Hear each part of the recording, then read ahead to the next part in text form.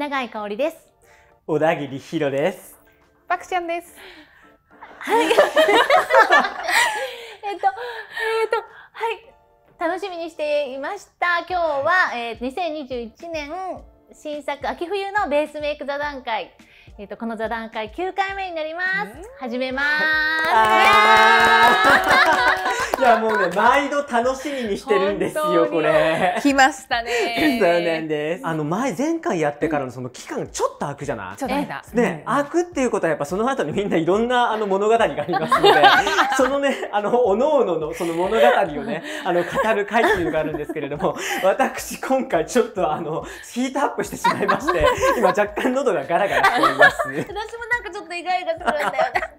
えー、まずベースメイクざっとさっき見たけど、うん。そもそも結構量が少なかったんだよね。ね。いや少なさは驚きだった。そうなの、ね。ちょっと一瞬寂しくも思えたけれども、うん。まあ、うん、マスクのことがあるかななんていう話をしていたんですが、うん。まあ、あの寂しがらずに、うん。今までの名品と、はい。まあ、新しく入ってきたものと合わせて使ってほしいなって感じだよね。えーまず初めのトピックスですけれども、えっ、とね一品で肌が整う次世代ベースが充実してました。はい。このポーラの BA はカラークリームっていう名前。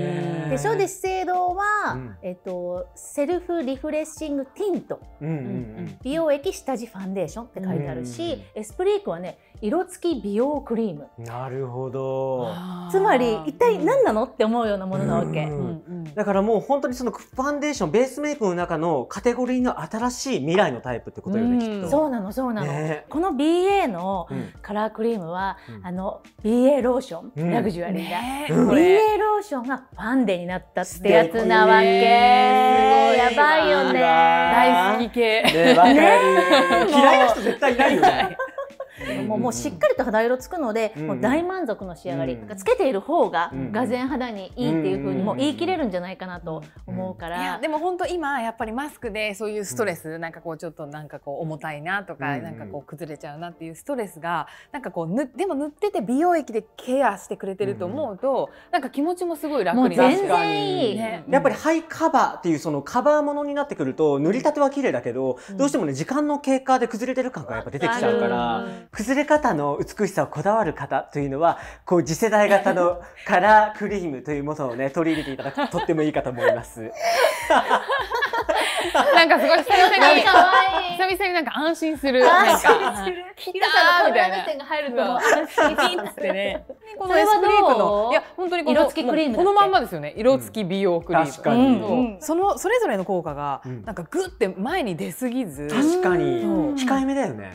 バランスが絶妙にいい。うんうん。本当にスキンケアの感覚で整ってるって、ねなんかすごい今やっぱぴったりなね、うん。ものなんじゃないかなって思ね。ねいやニーズに合ってるよ、うん。やっぱり結局その肌の美しさとか見た目の美しさにこだわるって大切だけれども、あのこの時代だからこそのやっぱり心地よさ。いや本当に本当そう。大事。ね、つけた時のやっぱり心地いいその軽やかな印象っていうのはやっぱり心にも響いてくれるものだと思うので、うんうんうんなんかこういうね資生堂のこれもねなんかわかる。ね。あの僕のねこのくすんでる黒いトーンにもすっごい綺麗に馴染んでくれ綺麗るよでもなんかなんだろう軽いね。塗った感がない。出てないよね。でもい確実に肌のクオリティっていうのが上がってるからうん。あのわざとらしくない美しさ、うん。でやっぱり心地よさが最優先になってくるからあのそういったものがやっぱりこれからのねあのうん。この時代の流れになんか最先端で寄り添ってくれる気がするわ。ね。どんなに優秀で、うん。あのまあ視覚的にすごくいろんな変化をしてくれるとしても、うんうん。やっぱり心地よさがないっていうのは、うん。もうちょっとブブーじゃない、うん。ちょっとでもなんかストレスが今嫌だわ、うんうんうん。うん無理、わがままになってきてる。わかる。わがままがある。わがままでした？さますますわがままになっちゃってもうすっごい敏感。なんかもうちょっとしたうんその湿度だったりとはいかは、例えばちょっとほこりとかもさなんか、うん。もうあー。すごいわかる。前は感じなかったよ、うん。すごく敏感になってわかるわかる。ね、でも本当これこれ塗ってマスクとかそんなに本当にストレスじゃないかも。確かにね。全然いいよわかねる。下地ははい。多かったね。そうなの。アイテムね全体的にベースメイク少なかったのですが、うん。その中でも下地カテゴリーだけは意外と多めでした、カバー力のあるソフトベージュ。うん。ベージュカラーが多いんじゃないの、うん。っていうことでした、は意外とこのベージュ下地ってうん。そこまで多くなかったようね、ん。なかった。ななかったのとちょっと一周回って戻ってきた感じもそうかもあそうかもそうかも。これはシュウエムラうんベージュっていうかね最初白く始まるんだけど伸ばすとね、うん。なんかほんのりスケールベージュみたいな感じ、うんうんうんもちろんファンデーションではないんだけどね、うんうん。あくまで下地でありながら下地の段階で少し薄いストッキングをなんか履くって感じ確かなストッキング系だね。だよね。もうアンズベージュっていう名前ですね。ベージュ寄りのあんず色っていうの、うんうんだからピンクに限りなくちょっと近いっていうことよね、うん。だからこそや、ね。自然な色なのにちょっと血色感っていうね。そうだね。いい塩梅のところを狙ってくるわ、そうだねこれはね、うん。RMK のこれ、はい。ポワレスベースになるんですけども、ああれですポね。ワレスってことはやっぱ毛穴や凹凸を滑らかにしてくれるってことよね、はい。でねこれちょっとびっくりなのが、うん。ベージュでも結構トーンが低いの。うん下地って言うとやっぱりちょっと明るいもの多いじゃない、うん。無色か明るいもの、うんむしろ、ねあの色付きっていうトーンアップところをもすごく多かったよねこれまでは。これはねちょっとトーンが低い下地で、うん。決して明るくなりすぎない。トーン上げたねっていう感じっていうよりは、うん。あなんかすごく今日顔色いいねぐらいのななんか自然さ？そうだね。そうだね。あのメイクした感出したくない人とかにはすごくいいベースかも。うん。あと最近さマスクでくすみ顔の人多いじゃない、うんだからそういうくすみ顔の人って一生懸命頑張って明るくしようっていうのももちろん一ついいんだけれども明るくしすぎると不自然ですっていう方も中にはいらっしゃるから、うん。そういった方は首の色に合わせたい組の方こういうあのトーンの低いタイプの,、うん。あのちょっとあの暗めの下地、うん。使ってあげるとナチュラルなあの首とのこのグラデーションで、うん。とっても素敵になるんじゃないかと思うわ。くすむわけじゃないけど、うんナチュラルに、まあ、明るさもちゃんと感じられるってこと、そうだね。ほら、うん私さ前回だったかな、あのほらスケシロおでこ姉さん、はいスケシロになりたい。ステステスケスケシロおでこ。スケシロおでこ姉さん。わかりそうましなりたい。た。2021年は？スケシロおでこ姉こさん。という。素敵。で。あ、素敵じゃない。そうそうそうね。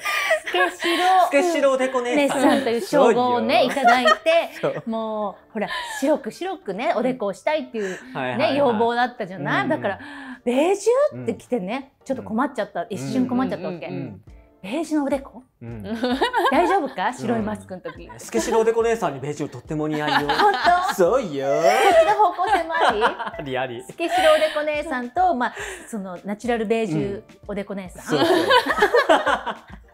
でも体験してみるといいかも、うん。方向性の違うやり方で、ね。マスクとなじませていくってうん。ね、うんこれなんですよねこれみんな大好きな大好き。そうだよね。ね。これまあパワーアップ。誰もが一回は使ったことあるんじゃなね。私も大好き、本当なんかやっぱりずっと持ってるっていう、うんこれも本当にもうさらに保湿力が、うんうん。まあ増えてこの塗った感がわからない自然すすごいぎる。ナチュラル自然ね。なのなんだろう。本当にちょっと錯覚する。なんか塗ってないんだけど、うん。もうとにかく肌がもともとこんうなん綺麗な感じにうん。塗ってってくれるから、履いてないストッキング。でも履いてますみたいな感じ。だねね。バレないストッキング。バレないストッバキング。全然違うわけ。全然違う。恥ずかしいぐらい。ね。違うわ。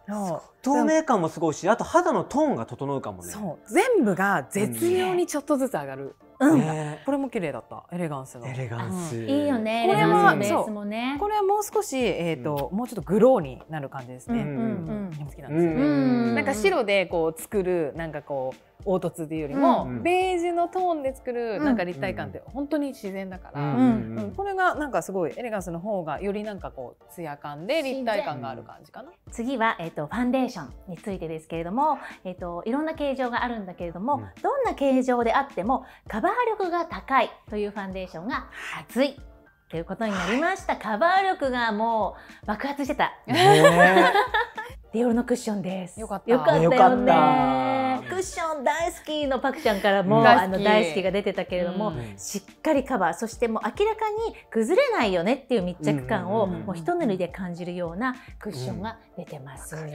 密着させなくても密着してくよね。そう。ね、もうね無意識。わかる。全然崩れないよねって思う。肌にピタって乗る。うん。ね。ピッタピタです。綺麗。うんでほらあの当初のさやっぱりよく言っていたテカテカぬるぬるの、えー、ツヤっていうクッションではもうございませんので、そういうクッションはもうどこかへ消えたね。私もこのクッション、そう、アナスイのなんですけど、ドールスキンは憧れじゃないですか。ドール陶器肌ね。だからアナスイはやっぱりそこをやっぱり目指せるんですよ。アナスイだもんね。そう、でも本当に綺麗。でもやっぱり厚い感がないので、なんだ重ねでもあのしっかりカバーはあるけど、なんか決して埋めない、なんか厚みを持たせないから、なんか本当にコンシーラーいらないぐらいカバー力あるけど、なんか、うん、不思議とやっぱりなんかすごい塗ってる感はない、ね、そうだね。で日常にもいいけどさこれやっぱ SNS とかみんなほら最近アップするじゃない、うん、写真映えとかもすごいめちゃくちゃ綺麗、ね、まあ、そんな形状に対して、はい、同じようなタイプでこのリサージのカラーメンテナイザー。よかった。ねまあこれは DX タイプということで、はい、ちょっとラグジュアリーラインの大人タイプなんですけれども、たった一つで、この化粧下地ファンデーション効果、そしてエイジング効果を叶えてくれるというものですので、さすがのやっぱりリサージ様ということですので、うん、あの、やっぱり長時間キープっていうところにも長けてるということと、うんうん、つけてる間中やっぱりお肌をいたわってくれるぐらいのその美容効果っていうところも、これもまたバランスがいいんだよね。美容液すぎない、そしてファンデーションすぎない、はい、そして軽すぎない、だからこそ求めてるものがやっぱりちゃんと入ってくれてる。そうだね。で、大人が求めるさ、ものってやっぱり多いじゃない。はい、そう、大人肌ってね、やっぱりね、どうしてもね、顔の中にいろんなね、問題が起きておりますので。はい、もう多機能で。そうなんでやっていただかないと厳しい。そう。それをね、やっぱすべて叶えてくれるのがこのリサージの新しいやつなんかそんだけカバーしても、やっぱり老けて見えないのが、そうなの。老けて見えないこの仕上がりは、さすがって。いや、本当にそうなの。そうだね。そう。カバー力強いとちょっとやっぱそこがね、隠れてはいるけれども、みたいなね。ね。素晴らしい。最後にパウダリー形状もありまして、アルビオンのプリンプパウダレストです。このパウダリって、今日あれ？付録？付録でついてるやつ？あれま、あれ？そうね。そうなんだ。そうなのよ。なんとこのプリンプちゃんがついてきます。パウダリーであっても、まあ、パウダーですと結構カバー力もともとあったけれども、うん、これもしっかりとパウダーでございますが、軽やかですけれどもきちんと隠してくださいますので、働くあの毎日のなんかその端正な肌なんていうのはもうこれ一塗りでもきちんと。綺麗。きちんと感出てる。すごい綺麗。だから僕自身ね最近ねあの仕事で使うものではなく自身ね私自身には1週2週3週ぐらい回ってパウダーファンデーションに戻ってきたんですよ、今日もねそうですね。今日はもうパウダーファンデーション全顔に塗りたくってるんですけれども、でもさ自然じゃない？えでも全然全然。ねなんか厚ぼったさとか、うん、ちょっとパウダリーってわかんない。僕ないよね。うん、やっぱりさ、この座談会が始まってからさ、はい、ちょっと年数重ねたじゃない？で、俺見た目の形状も変わったけれども。形状？そう。形状あ、うん、この素材を、私たちの素材の形状がね、だいぶ変わったんですよ。ね、あの過去のアーカイブご覧いただくとよくわかると思うんですけれども。ヘアメイクの小田切ヒロです。あの形状以外にやっぱ質感も変わってきて、はい、なんかねやっぱ清潔感が欠けてきてしまったの、はい、そう思った時にやっぱり今までのしっとりファンデーションだったりとかなんか軽やかななんかそういったクッションファンデーションとかっていうよりもなんとなくその清潔感を取り戻すためにパウダリーファンデーション、うそこをねこするようになってきたのよ。いいそうでもそれで仕上げた肌っていうのが古い感じじゃなくなんとなく逆にリバイバルした感じであの新しさを感じていて今はねでもだって今日すごい若々しいです、ね、うん、本当。そうでやっぱ張り感があのの感じられる、パウダーであっても張りを感じる、うん、嬉しいですね皆さん。こんなに柔軟でリバイバル肌のおしゃれっぽい。そうありがとう。でもおしゃれを狙ったわけじゃないの。やっぱり、ね、清潔感を取り戻したいと思った。の。ね、どうしてもやっぱりやっぱりいろんな根っから清潔感の塊じゃないですか。めちゃくちゃ。いやそういうふうに演出してるのは新しいものをどんどん取り入れてるから。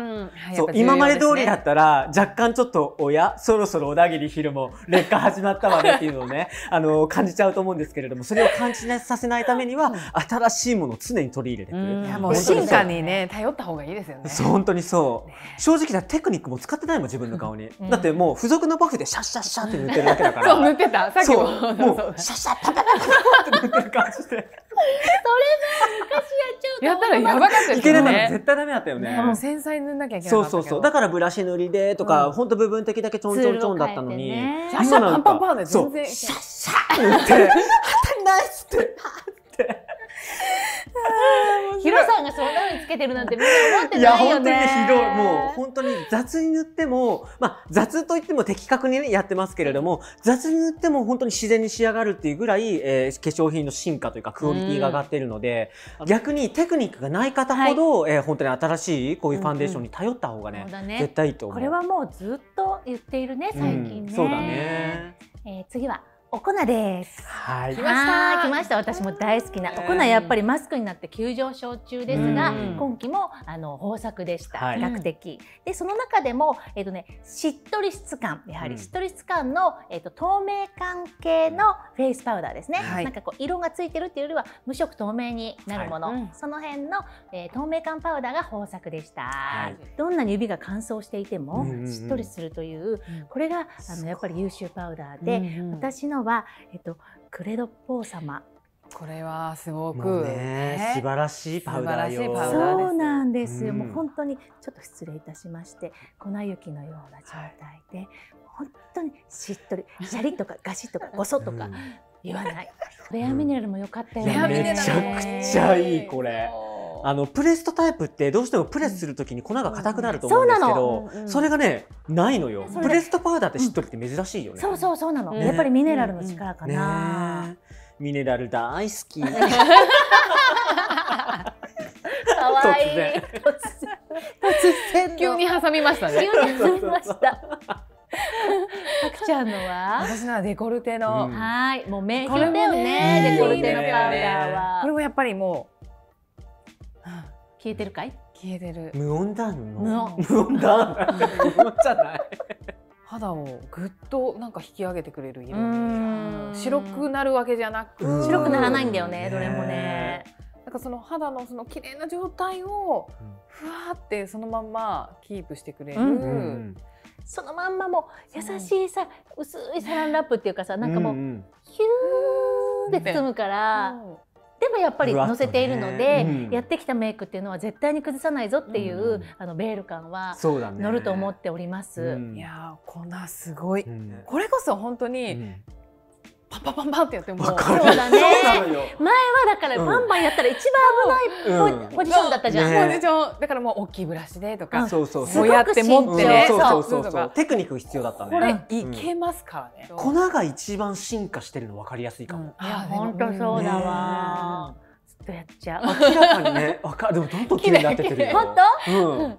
やだ一人だけずるいわね。じゃあいいかしら。私もちょっとやるわもう私もうミラーレスポンポンよ、うん、いやでもこのカラーレスのいいところってそこじゃないですか。そうなの。確かに確かに、ね、でもちろんちょっとほら色付きの粉もあるんだけれども、うん。やっぱりもうベースメイク好きなベースメイクをやってそのまんま透明でラップしたい時はやっぱりこのノーカラー系の、しっとり粉よね。そうだね。透明感出るから。テカリとかを程よく抑えるんだけど、なんて言うんだろう。もう決してマットにならないじゃないですか。確かに。ね、消えるから。不思議だわ。わかるわ。なんかもう閉じ込めて凍らせちゃったっていうか、氷の美女。氷の美女。あの今度氷の美女にならんだね 先生。あるじゃん。凍ってさ、うん、なんかほら目が覚めてもさ美しいさがそのまんまみたいな、うん。うん、そんなおとぎ話なかったっけ？作っちゃった？あったっけな。わかんない。あでもある気がする。白雪白雪姫的な？白雪姫で毒リンゴ食べさせられちゃった人。えっと何だったかな？とにかくなんかその美しい状態で凍らせてもらうっていうか、閉じ込めてもらって、そのなんか自分のやったベースメイクをやっぱりいい感じで閉じ込めるのは、はいはい。嬉しいよね、ミニマムで仕上げたいならえっとちょっと濃い色そしてオレンジ系に注目してみようということで、えっと、形状というよりは、えカラーなんですけれども、コンシーラーも例えばちょっとこんな濃い色揃えだったりとか、結構濃いよね。そうなの。オレンジも濃いもん。ね、うん、ナーズのこのコンシーラーのオレンジもしっかりとオレンジでございますよ、ね、いいよね。こんなオレンジよ、うん、でもヒロさん大好き？大好きなぜならば、はい、中途半端なオレンジだったりとか、うん、オレンジの靴下オレンジじゃないなんていうもの結構多いと思うわけ。そうね。そうでもオレンジの役目っていうのはやっぱりくすみを補正してくれるっていうものなので、色ムラをね補正するものなので普段手持ちのコンシーラーやファンデーションにちょっと混ぜてあげる。で人ってさ顔の中のくすみの色だったり赤み色ってさ人それぞれだったりとか、はい日によって色が違ったりするじゃない、はい。なので自分調整するためにこの色を肌色に混ぜてあげるといいと思う。うんあとね僕最近やるテクニックなんですけど一回肌をねあの沈ませるのよ。うんだいたい顔の中心でさ明るくするじゃない、うんはい。そうじゃなく顔の中心を一回オレンジでグッと沈ませるの。うんで沈ませてから、えっと通常通りの肌色のファンデーションとかコンシーラーで明るく上げるのね。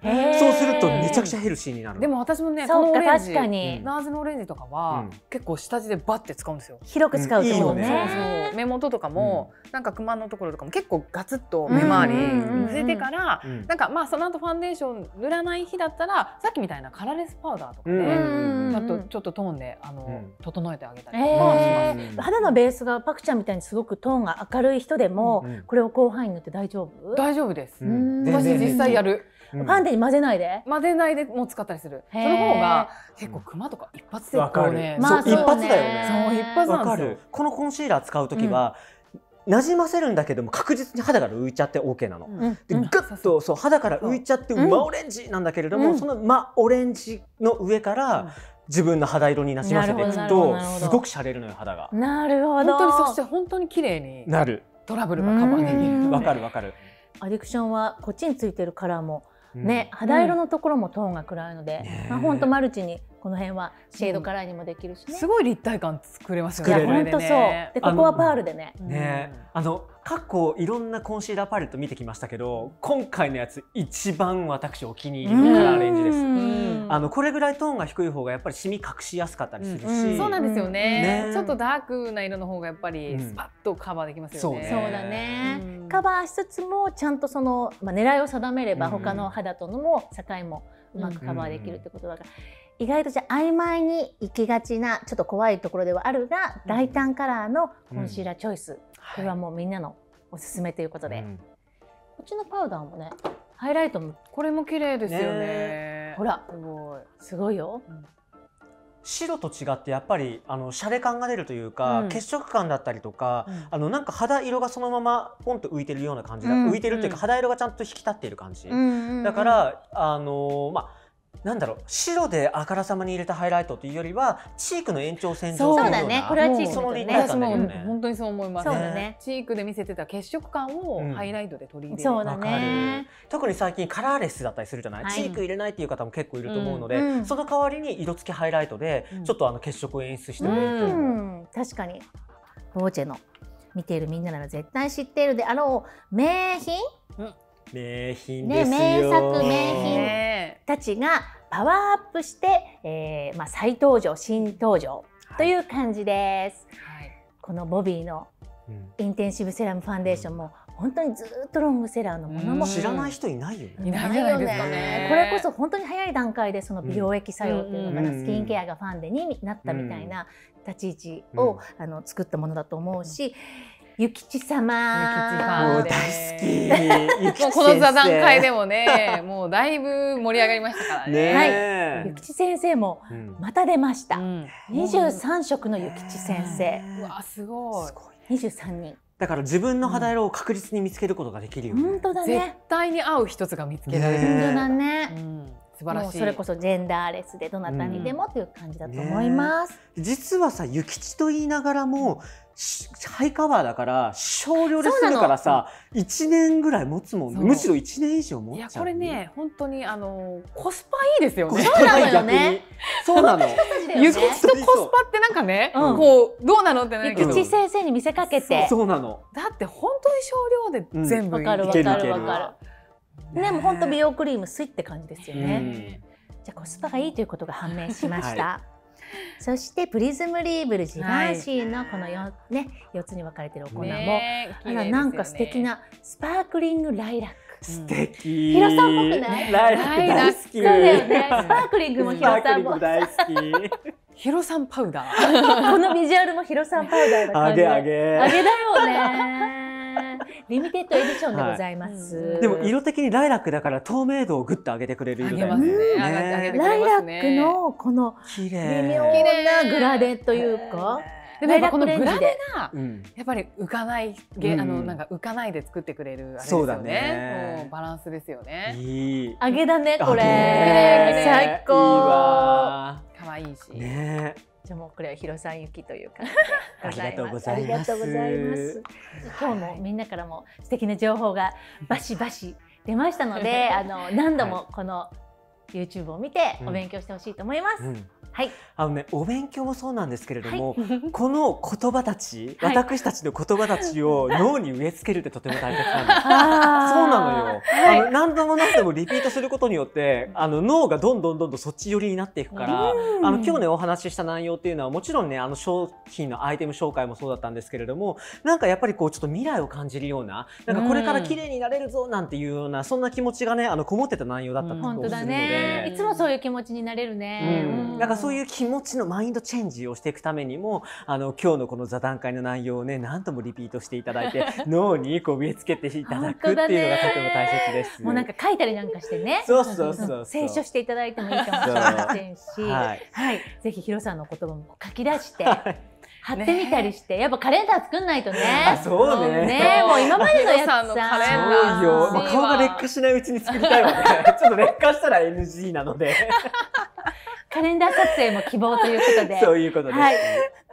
はい、じゃあちょっと番外編ということで、はい。えっ、とベースメーカーから一旦離れて、みんなが最近、うん。あの使っている保湿系アイテムをはい。2個持ってきてねっていうふうにお伝えしました。はい。リアルよね。そうよ、はい。リアルなやつ。わ。まああのシーズンによってきっと使うものもいろいろ変えているだろうから、うん。本当に今っていうところで持ってきてもらいました。はい。はい。じゃあパクちゃん教えてください。はい何使ってるの？私は一つ目は、うんタッチャ綺麗な色だね。これスキンミストこれタッチャってね、あのあの日本のブランド？日本に入ってくるの今度。へえ、いち早くね。でもともとタッチャとか、あの海外に行くと,、うんうん。えっとセフォラとかでうんうん売ってて、うんうん。でもすごいタッチャって日本の素晴らしいものをうん。化粧品にっていう風にしてだから日本っぽいブランドなんだけどそうなの。で今回なんか紹介するこのミストが私もうこんなに繊細なミストちょっと結構今まで初ぐらい。気になる。ねそうなの。うんほら見て。あ細かい。見えた？うん。すごい細かいね。だからね。これねかけててもわかんないぐらいなのあー。えちょっとかけてみてほしい。えかけたいいい、うん。これこんなの上からフィックスすることできるもんね。すすごいから。わかんないから。ほらすごい浴びてる。そんなにやってもさ。いっぱいかけちゃった 欲張っていっぱいかけちゃそう。すごいなんかナチュなんかこんラルなにいっぱいかけてたらうん普通結構ベターってなるもんねリゼなるんだけどっぽく。メイドインジャパン。本当に。一回ピシュってやったらねわかんないの。本当に。全然。ごい繊細。なんかさ、ね結構さドキドキするじゃない？ミストっうんていろんな出だし。そうだからさちょっと離れ気味じゃない？うん最初のうん。ファーストって。もう全然近くてよくないこれ。直接抜けちゃって大丈夫だこうもうね全然よくてなんか本当にもう本当になんかこうもうスチーマーの中をスッて通る感じでできて。切りがすごい。すすごくね好きで最近これなんかもうあのなんていうの気がついた時とかはもちろうんんメイク前とかもそうですけど香りもいい。持ち歩いてる。全然やっぱり違う。メイクの上からも全然影響しないね。本当にシュッシュッシュッってやってこうやんなくて確かに確かに。よくって、うんうんこれ失敗しちゃうやつとかあるもんね。ね。雫がさピュッピュみたいな。なんか粒がでかいみたいなさね。粒って感じじゃないの？わか霧。る霧だね。霧もう本当霧へー。お気に入りです。これから日本で買えるようになる。はい。入ってきます。タッチャタッチャ。でもう一つがあのまあ今回そう。私やっぱシートマスクが大好きなんですよ。うんうんううん。んあの本当になんだろうな。暇さえあればシートマスクするっていうか、朝もピュッてやるし、うん。なんかあのまずシートマスクするんですけど、うんうその中でも最近すごくお気に入りで使ってるのが、うんうんこのミントビューティーのフォアフォアベクターマスクなんですけど、うん。これですよ。もうピタッてやつね。ね。ってのってもう本当に潤いがうん。もう全然逃げないで、あの肌にずっと乗ってくれて、保湿しつつ毛穴もキュッと、うん。なんかこう引き締まるというか、うん。もうこのなんか仕上がり感がすごく好きで、今もうこれ結構ずっとハマって使ってます。うん。結構シートも肉厚じゃない？本当にそうね。ね。肉厚なの。横幅もすごいあるからさ、下からキュッてなんかできそう。なんかグーって持ち上げてそうだよね。とかもできるし、あとは本当になんかもうずっと、うん。きちんとずっと蓋されてる感じ。いやうんいい大うん切シートマスクってペラペラなやつってさ気泡入っちゃったりとかしてさうん。そう後半戦なんかさカラッカラになっちゃったりするのそうあるじゃない。ねなんかね本当にね気持ちいいんです。うわいいー。ねもうずっと本当にずっとプルプルしてるから。うん。いいね。テリン。贅沢ね。ね じゃあ次は氷の女王姉さんから。わかりました。お願ははい。えっと姉さんはですねはい。まずはファミュこれ。わかる。大好き。もうファミュってさ好きファミュって言うだけでなんかさうん。可愛くなりそうでわかる。可愛いよね。今回のボトルも可愛くない？そうなの。ちょっとねオーロラのようなそう感じで。このオーロラたこれこそ氷の女王姉さ。んなそうよ。に もうあのビジュアルを見てはい。発光するようなこういうツヤ肌ができるんだろうなって、うんうんこの容器からも感じてしまうほどうのんグロードロップスね、うんはい。これみんな使ったでしょ？使ったこれねますよ。撮影の時に使ってる。わかる。あのちょっとだえけあのクリームに混ぜたりとわかる。私もね。当綺麗ですよね。ねうん。ちょっとでものすごく発光するようなうん。柔らか肌になるので私も実はメイクボックスの方にうん入れておりまして、うんちょっと状態を見てうん。投入したりしています、うん。本当にあのなんだろう1回の使用でもうもちもちパンパンの、全然疲れてなんかいませんっていううん。肌にしてくれるから、ね。これはねちょっと久々のヒット、うん。うん。重くないよねそうなの、ね。軽い。よ。軽軽いしピタッと乗るけど、本当に超時間かけて保湿したみたいな。うん。肌そうに わかる。なんか手の込んだ、うん。あの潤いというような感じがね一滴でする本当ドロップスわかる。大好き、うん。だからねもうしぼんじゃった元気がない肌の時に、うん。もうこのドロップスをピチョリとうん。うん垂らすようなイメージで、お助けアイテムでもありますね。本当そんな感じ、ねうん、あの毎日使って肌を育むっていう感じももちろんそうなんだけど、うん。私はねそのもう一滴ですぐ肌回復っていうようなイメージで、うん。自分にも撮影でも使ってます、ではもう一つ。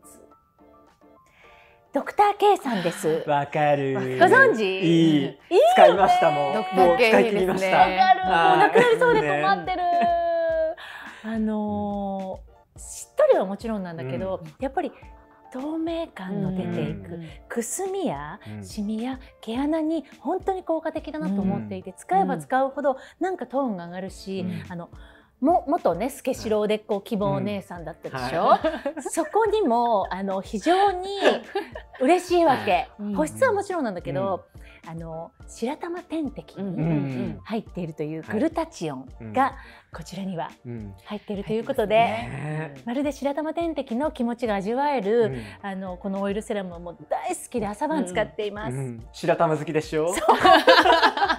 白玉姉さんになっち白玉ゃう。姉さんとかもね女王雪の氷とか雪とか言ってるんだけど、やっぱね保湿だけじゃなくって、うん。大人はもうプラス何してくれるっていうところにやっぱかかってきます。わかる。はい、うん。そうじゃない？そうよ。保湿してくれるものはたくさんあるもん。そうなの。保湿だけじゃ物足りないから。うん。全然ダメ。というところで、やっぱりもうぐさっと刺さるね、そういうあのちょっと白玉点滴のような作用ということで、本当に肌の明るさを感じられるようになりましたので、あの今2本目。うん。3本目？2本目。ちょっと間空いちゃったんだけどあのねもう一回リバイバルで使ってやっぱり良かった。うん。毛穴にもいいと思っているのでもうぜひおすすめ。メイクにもツヤが出ます、うん。私もこれは毛穴はすごい毛穴ケア。ね。うん。わかる。結構即効性ありますよね。あるある。かかすぐ感じられる効果が。うん。そうな嬉しいの困っちゃう。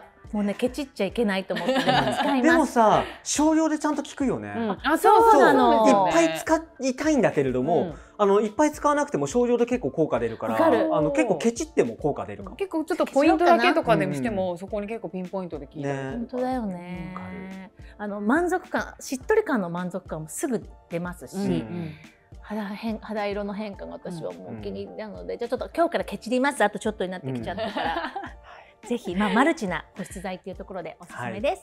はい、はい。じゃあ、ひろ様。私お今日はですすよ、はいスペシャルなものをお持ちいたしました。な何そうなんです。すごそう。じゃあ今日は私うんこちら、ボノトックス。なんだ？こちら何レッド人選ヒあレッド人生ヒヘリテージ。あこちら ボノトックスの、えーレッド人選ヘリテージオイルでこのオイルの素晴らしいところはこれ、うん。韓国のねうん。110年以上こう歴史のある老舗のハンソンジョンっていうあの高麗人参のお店があるんだけれども、うんうん。そこと組んで作られたあのレッド人参のオイルなのね。高麗人参オイルってこと。そうなのよ。で、そのハンソンジョンっていうところは、あの、韓国ではとっても有名な、あの、うん高麗人参の店なんだけれども、そこが初めて化粧品とコラボしたの。そう。なので、韓国人といえば高麗人参じゃない、そうね。で、あの美しさといえば人参じゃない、はい。その人参の抽出したオイルがこの中に入ってるわけ。素晴らしい。そう。で、アンチエイジングに特化されているオイルなので、はい。一滴で効果がすごいわけ。なので一滴っていうとそんなんでオイル効果あるんですか？って結構ね思っちゃうと思うんですけれども、うん。あごめんいっぱあい出ちゃった。すごくいっぱいですそうなのいっぱい出ちゃった。おあのねちょっと水っぽいテクスチャーのオイル。えあ軽いねそうな最のうん。やっぱりさこういうちょっと老舗のオイルっていうとちょっと重そうと思うじゃない、うん。軽い。そうなの。うわ韓国いいでしょこの人の香り。うんうん。あーすっごい香り、うん。あーやば一度でちゃんと効果を実感していただけるオイルっていうのと、うん。使い続けるほどにアンチエイジング効果が高いから、うん。肌の修復効果そしうん。て肌がどんどん蘇ってくるっていうのを感じるの。うんなのでやっぱりこうオイルラバーだった私が久々にオイルでヒットしたのがこちらなんです。そう。あともう一つ。なんだろう。あのね、やっぱり保湿っていうこと今やっぱりマスク時代なので、うん。使うアイテムスキンケアというものにやっぱり保湿が必要だけれども保湿もただただ潤ってればいいっていう問題でもなく、はいクリームっていうところに僕はあのちょっとこだわりがあって、はい。クリームもどうしても油分の強いものになると、うんうん。ファンデーションも崩れちゃうし、うん。どうしても油分肩によってこう肌荒れの原因マスク荒れの原因になっちゃうから、今回ね選んだのがこちら、うん。アンティポディスのウうん。ォータージェルクリーム。うんウォータージェルなんだ。そうなの。あの、クリームはね、もうウォータージェル以外ちょっともう受け付けなくなってしまっていて、どうしても保湿はしたいけれども、油分のものだとやっぱりニキビが出てしまったりっていうことが結構あったので、うん。なるべくこういうちょっと水分で蓋をするっていうもの、これがまた色もすごい綺麗でしょ。すごい綺麗だよ。そうなの、ラベンダーカラー、ライラックカラーっていうの。を。うんやはり広さんから。やっぱりライラックだね。そうねなの。じゃあこれちょっと手の甲に。あらありがとうございまあのね、この水っぽいテクスチャーなんだけど、伸ばすと表層が何とも言えない水のような上に膜が張る感じ。わかる？もう香りがめちゃくちゃいい。そうなすっの。ごい香りがね。ねこれね、今年、このアンティポディスってニュージーランドで新製品って300種類出てるんだけれども、うん。その300種類の中でナンバーワンを取った商品なの。へー。一番売れた商品。うん。300種類。そう。それがね、まあ日本でも今発売されてるんだけれども、あの、それだけやっぱりこう需要がね、あの、うんウォータージェルっていうものが、あの今のニーズに合っているっていうところと、油分をね、やっぱりコーティングしてしまうと、やっぱり肌トラブルの原因になってしまうのは、やっぱり全世界共通なのかなっていうところ。えしっとりしてるけどなんかなんとなくちょっとささらっと感といういやかやっぱりね快適だよ。わかる？く。うん。あメイク前に使っても OK なの？そうだね。これナイトケア用なんだけど僕はね結構朝のメイク前に使ったりとかもいいかもいいかも。これもねあの数十分数時間かけてちゃんと保湿をした後のような、うんあの質感に仕上がってくれるから、うん。あ時間ない朝とかもうさーっとこれだけ伸ばしていくとちゃんとねお肌を丁寧に扱っている人に見えるわけ。うん。イコール丁寧に扱われるような人間に見えるわけ。そして丁寧に扱われるのよ。